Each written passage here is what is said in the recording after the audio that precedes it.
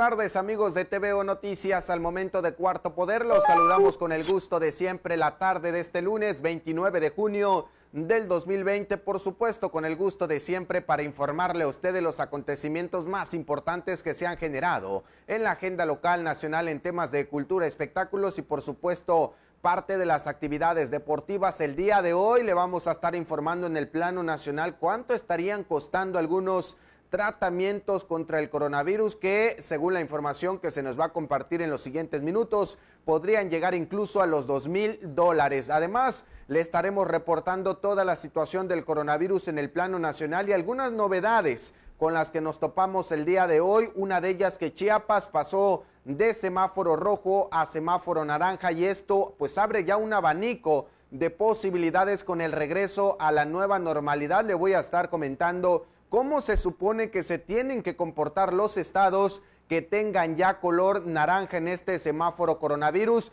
Por supuesto, el reporte diario de los casos confirmados cada 24 horas de coronavirus en el estado de Chiapas y este subregistro que hay entre las cifras nacionales de muerte y las cifras estatales de personas fallecidas a causa de esta pandemia. Le voy a tener lo que dijo el secretario de salud con relación a estos temas y por supuesto también un recorrido en el centro de la capital chiapaneca para mostrarles cómo se comportó el día de hoy la gente en este espacio que fue eh, catalogado como de alto riesgo hace unas semanas a consecuencia justo del coronavirus. Voy pues al plano internacional, primero con mi compañero David Morales para que nos profundice en este tema que hace referencia a algunos tratamientos con el coronavirus o contra el coronavirus que van a llegar a costar hasta dos mil dólares. David, buenas tardes. ¿Qué tal, Adolfo? Saludos a todos. Buenas tardes. Vamos con la información nacional. Hoy la farmacéutica estadounidense Gilead anunció que va a vender su fármaco Remdesivir el primero que se ha demostrado efectivo para tratar la COVID-19, esto a un precio de 390 dólares el vial, que es este espacio para contener la, eh, el medicamento, un pequeño pedazo de plástico, y eh, lo que elevaría el precio también del tratamiento más habitual a 2.340 dólares, es decir, unos 53 mil pesos mexicanos, y esto sería por paciente. En tanto, el de las terapias largas sería a 4.290 dólares, unos 98.670 pesos. En el caso de los países en vías de desarrollo, Gilead indicó que ha alcanzado varios acuerdos con productores de medicamentos genéricos para poder ofrecer el tratamiento a un precio más reducido y facilitar el acceso a él en todo el mundo. En Estados Unidos, desde que en mayo se aprobó de emergencia el uso del remdesivir para enfermos de coronavirus, los hospitales han estado usando dosis donadas por Gilead, a que a partir de julio comenzaría a cobrar por el medicamento. En su país, Gilead ha decidido fijar el mismo precio de 390 dólares por vial para los programas de sanidad pública como Medicare, mientras que para los privados, los más habituales en Estados Unidos, sería de 520 dólares, lo que supone un precio de 3.120 para tratamiento más habitual, que consta de seis dosis y de 5.720 dólares para el más largo, mucho es que es mucho menos común. El precio superior para los programas privados se deriva de que habitualmente en Estados Unidos los programas públicos reciben descuentos en los medicamentos con respecto al precio del mercado. En una carta abierta, la empresa explicó que quería evitar negociar el precio del remdesivir país por país y asegura que lo fijó teniendo en cuenta la situación de los países desarrollados con menores capacidad adquisitiva y claramente por debajo del valor que el medicamento ofrece. Según Gilead, estudios han demostrado que de media los pacientes tratados con este fármaco pasan hospitalizados cuatro días menos, lo que supone un importante ahorro para los centros de salud.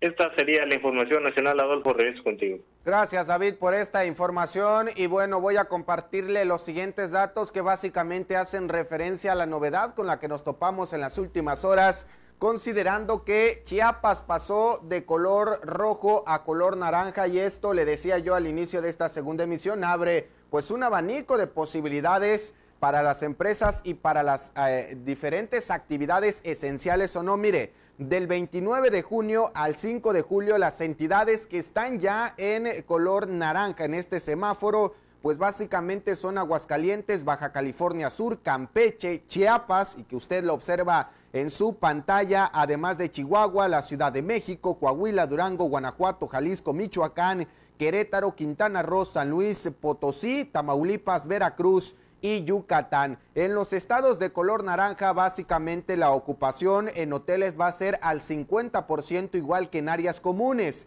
Restaurantes y cafeterías también podrán tener un 50% de aforo. Las peluquerías, las estéticas y las barberías 50% de aforo. Y también los parques, las plazas y espacios públicos abiertos tendrán un 50% de aforo. Los mercados y supermercados, aquí hay un porcentaje mucho mayor, van a tener el 75% de aforo, pero todavía una sola persona podrá ingresar por familia. Para el caso de los gimnasios, esta es una buena noticia, falta que haya una coordinación con las autoridades municipales y lo digo por el caso de Tuxtla Gutiérrez, así como las albercas, los centros deportivos y los spa van a tener aforos del 50% y únicamente con citas.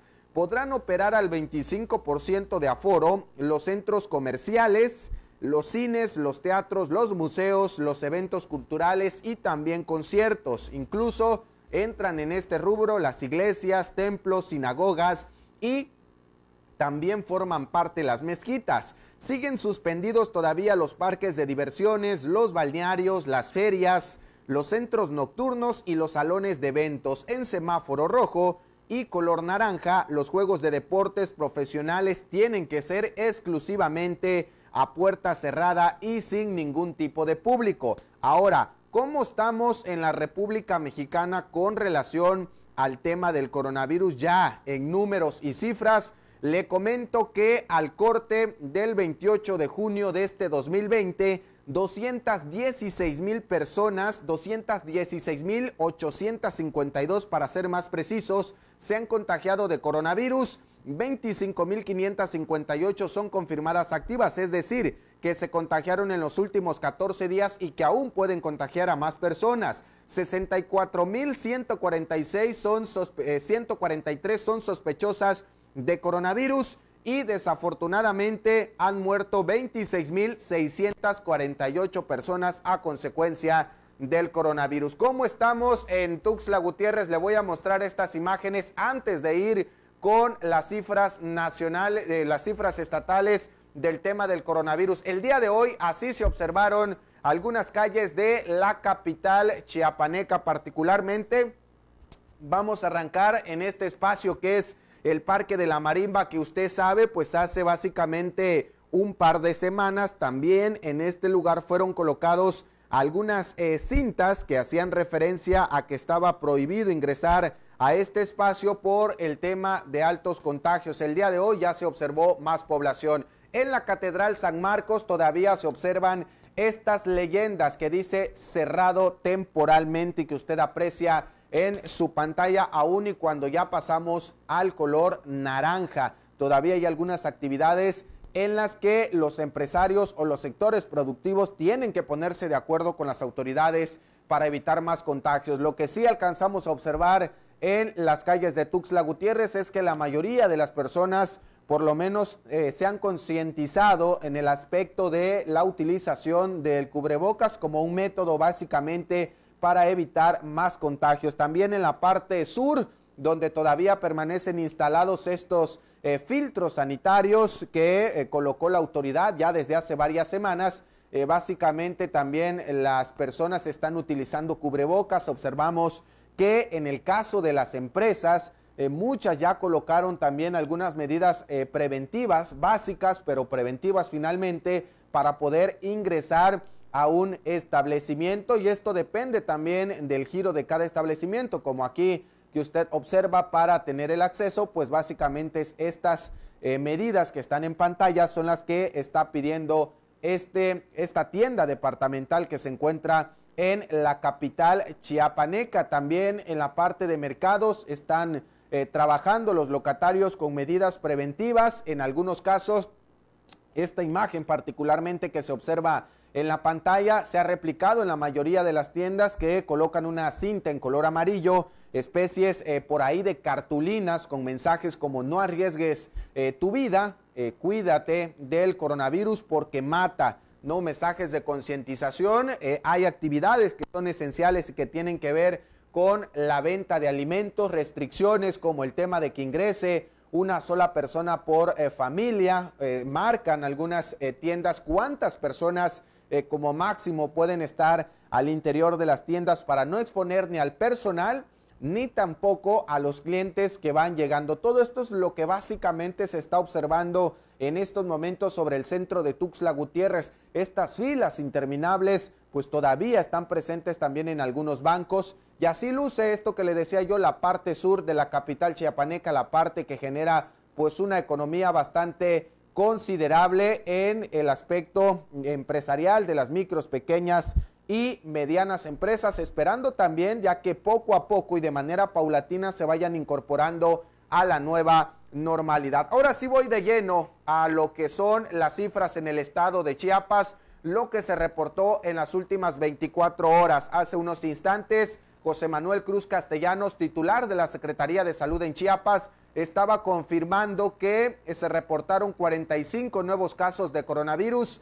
27 en hombres y 18 en mujeres. De este número, 23 personas no presentaban ninguna comorbilidad. El resto, las que usted ya sabe, hipertensión arterial, obesidad, el tema del tabaquismo, del asma que ha aparecido y bueno, otras enfermedades crónicas que dificultan la atención a la población. En estos momentos ya el 77.4% de los municipios del estado de Chiapas presenta por lo menos un contagio y esto va avanzando de manera paulatina. Estamos en el estado de Chiapas ya básicamente con el 98% de los contagios comunitarios, donde aparecieron los últimos 45 casos eh, confirmados en el estado de Chiapas. Aparecieron en Tuxtla Gutiérrez 29, en Tapachula 4, en Pichucalco 3, en Palenque 2, en San Cristóbal 2, en Arriaga 1 en Ixtacomitán 1, en Motocintla 1 y otros eh, municipios también registraron un caso. Donde está la disyuntiva y por supuesto la inconformidad social es en el número de muertos. Se supone que la Secretaría de Salud del Estado de Chiapas tiene confirmadas 288 muertes. Hasta este momento es lo que usted ve en pantalla. Sin embargo, a nivel nacional se tiene reportado que en Chiapas han fallecido 525 personas. Es decir, estamos hablando de un subregistro. De esto habló el secretario de Salud. Escuche lo que dijo.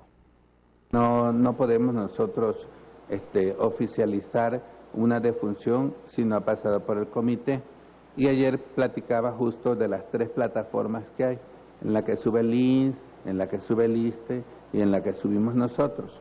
Nosotros estamos subiendo todo lo que ya está validado por el comité pero las plataformas en términos de defunciones suben sus defunciones en distintas partes del Estado.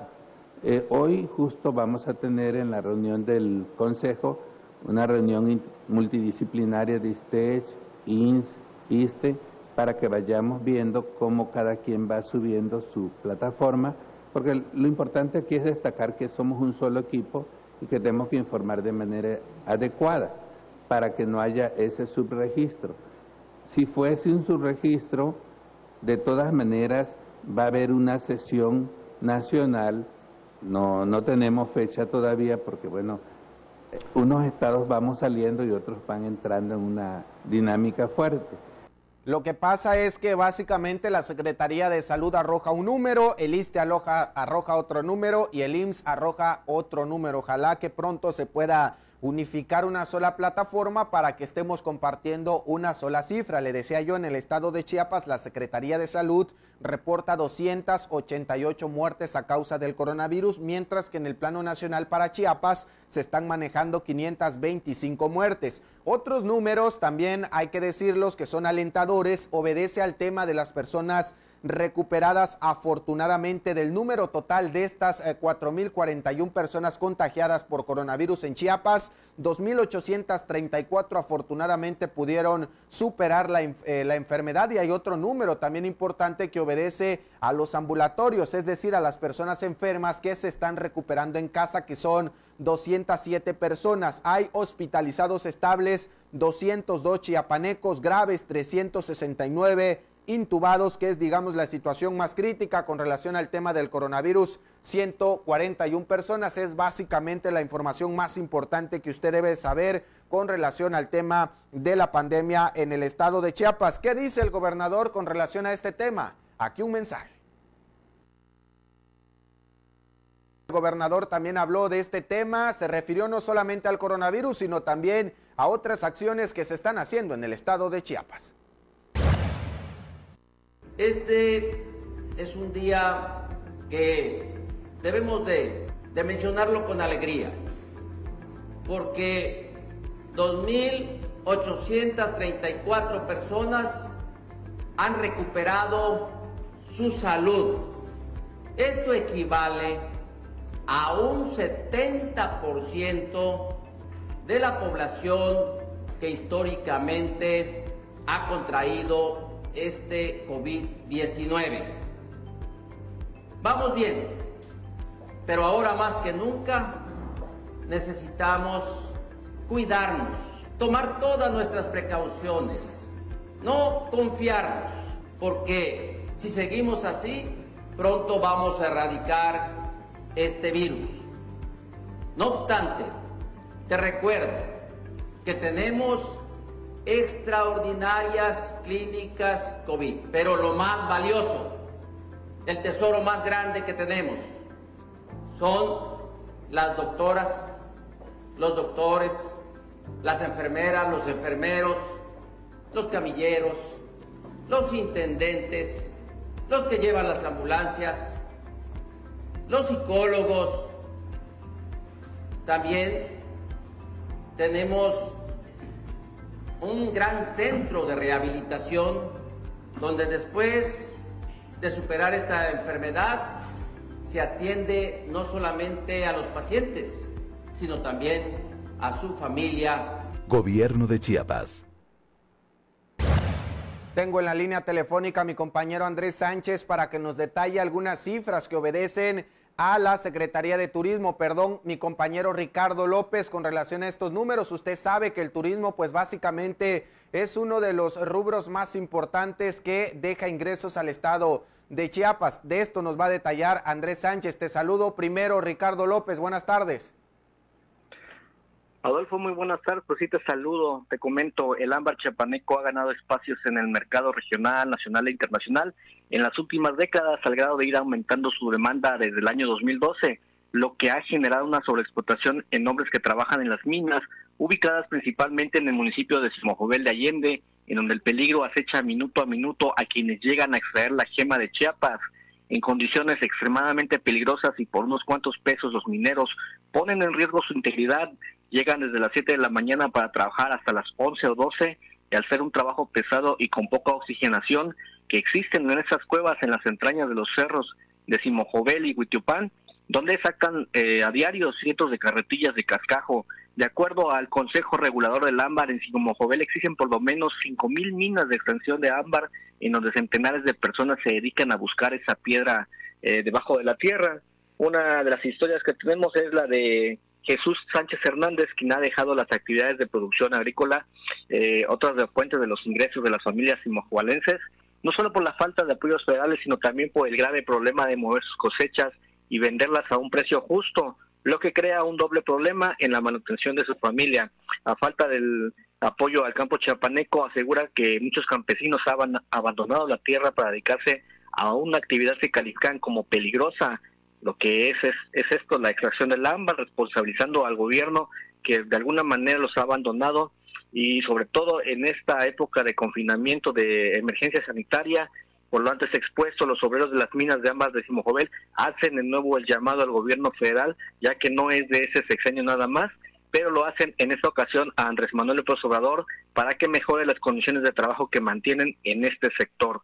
Esa sería la información al respecto, Adolfo. Muy buenas tardes. Gracias, Ricardo, por esta información. Bueno, voy rápidamente con algunas acciones y exhortos que está haciendo el municipio de Tuxtla Gutiérrez con relación, desafortunadamente, a que usted sabe, en algunas zonas eh, de Chiapas se han registrado agresiones al personal de salud. Mire, le comento rápidamente que la Secretaría de Salud municipal del gobierno de Tuxtla Gutiérrez hizo un llamado pues a la ciudadanía a no dar atención a notas o rumores falsos y que permitan el trabajo de las brigadas sanitarias, pues de otra manera se podrían incrementar los casos de dengue en la capital chiapaneca. Sí, el dengue que también es una enfermedad grave que afecta al estado de Chiapas. Lo anterior luego de que tras iniciar los trabajos de nebulización para evitar la proliferación del mosco transmisor de dengue, en algunas colonias de la capital ha habido resistencia para que se realicen estas acciones, además de que se han lanzado amenazas en la integridad de los trabajadores del sector salud. Es importante señalar que estas acciones de nebulización con un insecticida que no es dañino para las personas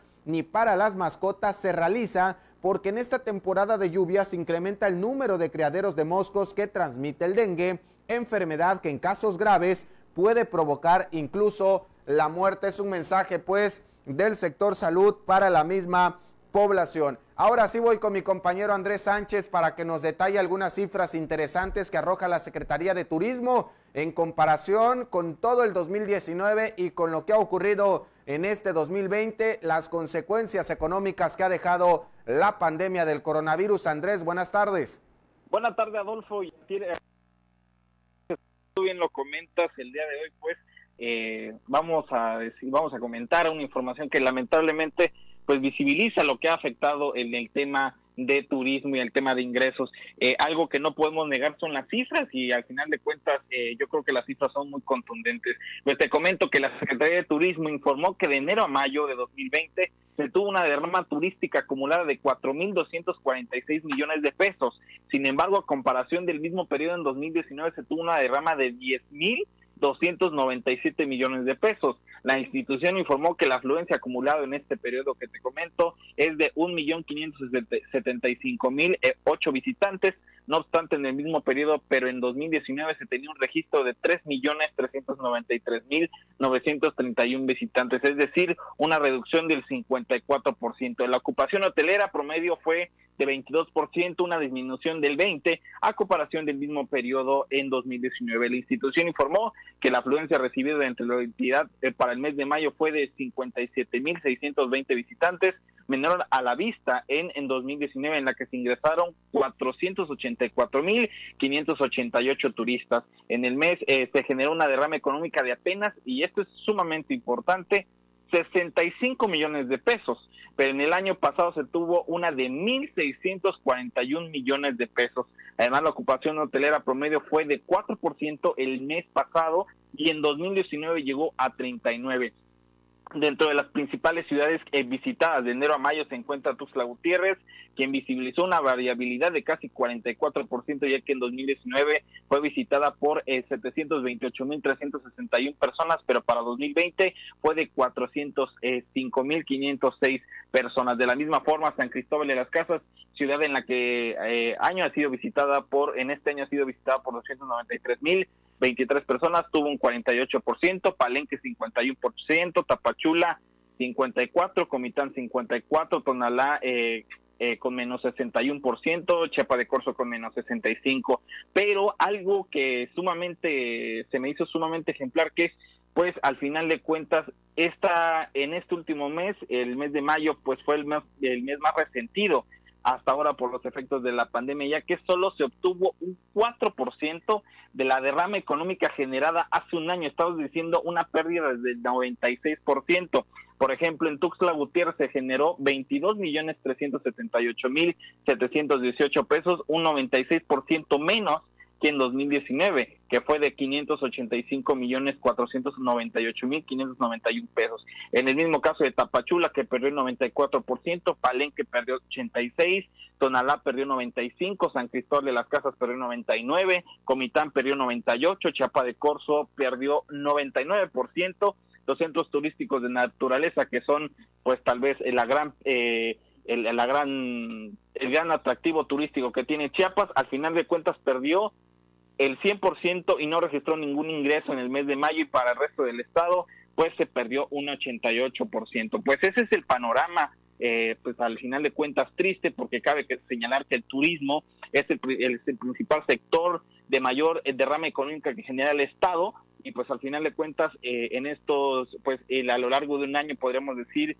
que en este año se perdieron 6 mil millones de pesos pues a raíz de la pandemia. Pues esa es parte de la información que te presento el día de hoy, Adolfo. Regreso contigo. Gracias Andrés por esta información, estos números fríos y preocupantes además en materia turística. Vamos a más información, le decía yo que con el tema del semáforo que cambió a color naranja, pues van a venir ya en consecuencia este abanico de posibilidades para las empresas y por eso le comunicamos lo siguiente, le muestro la imagen en pantalla. Bienvenidos, el Liverpool vuelve a abrir sus puertas para ti, este mensaje que se está dando para la población.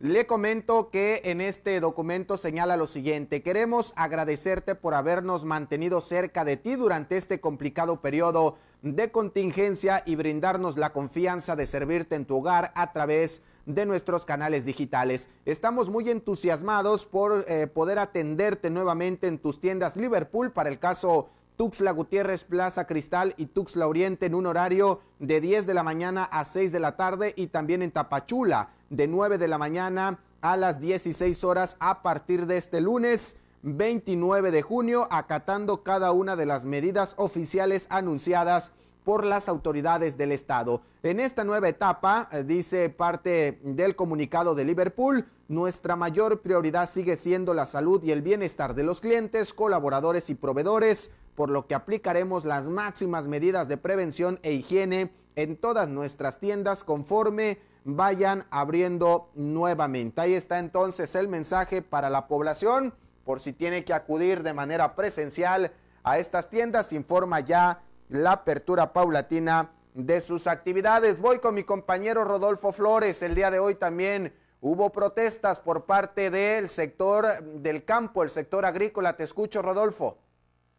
¿Qué tal, Adolfo? Te saludo con mucho gusto y también a todo el auditorio para informarles que indígenas de diferentes municipios tomaron las instalaciones de la Secretaría de Agricultura, Ganadería y Pesca, la SAGIP, en Tuxtla, ante la falta de apoyos al campo. Señalaron que en diferentes ocasiones han solicitado una reunión o solución a las demandas.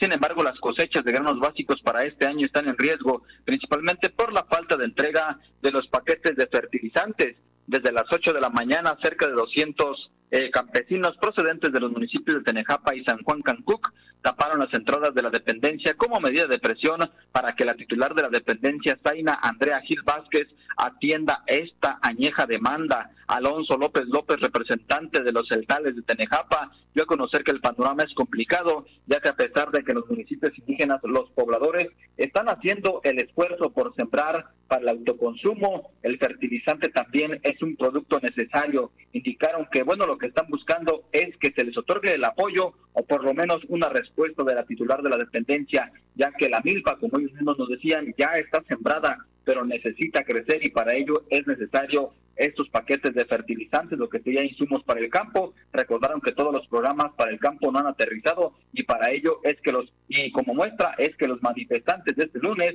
fueron los representantes de 35 municipios indígenas con la misma demanda. Los denunciantes dieron a conocer que desde el año pasado no han recibido ningún tipo de programa, como anteriormente ocurría para asegurar las cosechas, por lo menos para las familias de las comunidades más pobres del Estado. Indicaron que en estos momentos ya es un poco tarde, pero aún están al pendiente de lo que están solicitando. Es decir, han llegado de una forma pacífica para que la SAGIP les atienda y les pueda dar una respuesta ante esta petición puntualizaron de que cada bulto de fertilizante tiene un costo de 450 pesos y al momento se requieren tan solo para este grupo unos 3.500 bultos. Recordaron que de la siembra es de lo que viven, eso es lo que cosechan y no tienen ningún otro tipo de ingreso. Por ello, esta demanda es constante y es justa y también necesaria para miles de familias indígenas del estado de Chiapas. Hasta aquí mi reporte, Adolfo. Regresamos contigo. Gracias, Rodolfo, por esta información. Le voy a compartir básicamente dos pronunciamientos que ha emitido la Fiscalía General del Estado en las últimas 24 horas con relación a algunos sucesos vandálicos que han ocurrido en la Reinsar y también en San Juan Chamula. Voy con el primero que hace referencia a la Reinsar. Mire, le comento que la Fiscalía General del Estado a través de la Fiscalía de Justicia Indígena inició ya una carpeta de investigación con motivo de los actos vandálicos que se registraron la noche del viernes en la cabecera municipal de la Reinsar, garantizando el esclarecimiento total y también cero impunidad a esta conducta violenta. Esto lo informó el fiscal Jorge Luis Llave Navarca. El responsable de la Procuración de Justicia en Chiapas informó que se dio a conocer pues esta carpeta de investigación una vez que se hizo viral esta noticia criminal y que básicamente pues obedece a que policía, la policía municipal efectuaban patrullajes de rutina a eso de las 20 horas en el barrio Guadalupe de la cabecera municipal, cuando habitantes pusieron, o más bien supusieron, que se habían constituido para sanitizar las inmediaciones siendo retenidos y después liberados. No obstante, añadió que posteriormente se encontraron a más pobladores que realizaron desafortunadamente actos vandálicos en la cabecera municipal. Prácticamente quemaron seis vehículos, una ambulancia, dos patrullas de la policía municipal, un vehículo de uso oficial del ayuntamiento y dos vehículos particulares. Al rato, al rato van a andar diciendo en la Reinsar que no hay ambulancias y que no hay patrullas, pues en esto terminó los actos vandálicos y la autoridad ya está investigando este tema. Esto ocurrió en la Reinsar. ¿Qué pasó en San Juan Chamula que también, por supuesto, provocó que la autoridad reaccionara a este tema? Mire, la Fiscalía General del Estado también a través de la Fiscalía de Justicia Indígena inició una carpeta de investigación por los hechos violentos que ocurrieron la noche de este domingo en el municipio de San Juan Chamula, en los que tres personas del sexo masculino perdieron la vida con proyectil de arma de fuego. De acuerdo con la carpeta de investigación, aproximadamente a las 11 de la noche con 30 minutos del eh, domingo se suscitó una confrontación entre los habitantes de la comunidad adversa, presuntamente derivado del cambio de la Comisión de Educación de este mencionado lugar. Luego de que se conoció la noticia, pues básicamente un grupo de ministerios públicos, de policías y también peritos se trasladaron hasta la escena del crimen y se ha eh, confirmado que no va a haber impunidad tampoco en esta situación. Veremos qué es lo que ocurre en otros dos municipios que lamentablemente se convirtieron en noticia estatal. Cambiando un poco de información, tengo en la línea telefónica a mi compañero Freddy Manga para que nos detalle los aspectos más importantes en el rubro deportivo. Te escucho, Freddy. Buenas tardes. ¿Qué tal, Adolfo? Muy buenas tardes. Un gusto saludarte aquí el auditorio de TV Noticias de Cuarto Poder. Vámonos de lleno con el tema de los deportes. Iniciamos en el estado de Chiapas porque la escuela Taekwondo Kumats sigue eh, pues con los entrenamientos, sigue de cara a lo que es la preparación de lo que es este, sus, muchachos, lo que es este lo que es la, la parte de la pandemia que ha sido bastante pues eh, complicada para ellos. El profesor Alfredo Mayor Álvarez está llevando a cabo lo que son los entrenamientos desde las casas. Los días viernes les deja todo lo que son las sesiones especiales para que trabajen eh, de lunes a viernes y posteriormente estará llevando a cabo de nueva cuenta eh, los nuevos entrenamientos. Eso en cuanto a lo que es la información en el Estado, lo que es eh, la información nacional, bueno, mal y de malas el equipo de Cruz Azul que este año perdió nuevamente el título, ahora cuatro nuevos casos de jugadores que dieron positivo al COVID-19 se presentaron en estos días. La directiva no ha dado su postura, no ha dado a conocer qué es lo que harán, pero por si fuera poco, el equipo femenil pues resultó con 14 casos más positivos, es decir, 11 jugadoras que alinean de manera pues inicial lo que es un partido, más los tres cambios. Con eso eh, pues se estaría poniendo en riesgo lo que es la reactivación del fútbol mexicano aquí, eh, pues con el equipo de Cruz Azul. Hay que mencionar que este viernes inicia la Copa por México. Vamos a ver si al final de cuentas el equipo de Cruz Azul participa o le cede su lugar al equipo de Puebla. Adolfo, este es el panorama deportivo en este día. Gracias, gracias Freddy por esta información. Saludo a mi compañero Jesús Ortega, recorre las calles de Tuxtla Gutiérrez para informarnos de algunas situaciones que son lamentables y que hace referencia en este caso a una persona sin vida. Amigas y amigos de Cuarto Poder, tu diario y vivir, les informamos desde la décima poniente y la novena norte, donde hace unos momentos fue localizado el cuerpo sin vida de un empleado que al parecer laboraba como velador de un negocio que se llama Punto. Ya se encuentra acordonada la periferia y han arribado elementos de la policía estatal para conocer detalles de la situación. Por el momento, esta es información. Reportó para Cuarto Poder Tu Diario Vivir, José Ortega. Y bueno, también nuestro compañero captó pues este accidente automovilístico sobre el Libramiento Norte aquí en la capital chiapaneca. Amigas y amigos de Cuarto Poder Tu Diario Vivir, les informamos desde el Libramiento Norte a la altura del Parque Noquis, donde hace unos momentos colisionó un vehículo. Se encuentran aquí elementos de tránsito y vialidad municipal para evitar un percance mayor. Hay conos para evitar también otro accidente, además de que hay personas realizando trabajos de limpieza, por lo cual le recomendamos tome sus precauciones y circula por esta vía en dirección de oriente a poniente. Por el momento esta es la información, reportó para Cuarto Poder Pudiera Vivir, José Ortega. Gracias José por esta información y bueno, con eso nosotros prácticamente llegamos a la conclusión de esta segunda emisión de TVO Noticias al momento de Cuarto Poder. Como siempre, agradeciendo la amabilidad de su atención. A nombre de todo el equipo, nuestros compañeros Marcos Osorio, Max Otero en los sistemas informativos, el ingeniero Armando Barrientos en edición, Fanny Guadalupe en la realización, el ingeniero Juan Carlos. Soy Adolfo Abosaid, que tenga usted una excelente tarde, buen inicio de semana, buen provecho. Recuerda mañana en punto de las 8 de la mañana y siempre nos vamos con temas preventivos.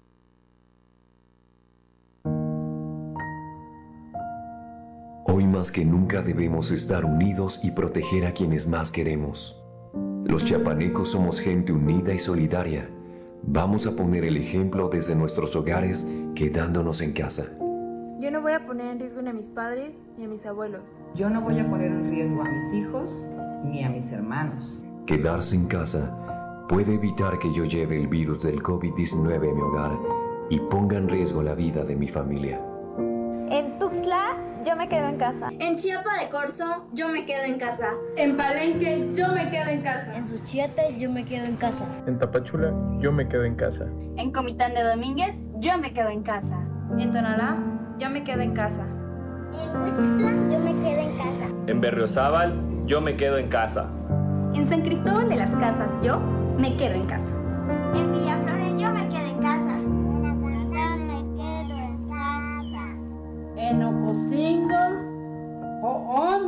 Joón y Escomontana. En Chiapas, todos nos quedamos en casa. Gracias por quedarte en casa. Gracias por protegernos. En todos los municipios de Chiapas nos quedamos en casa. Gobierno de Chiapas.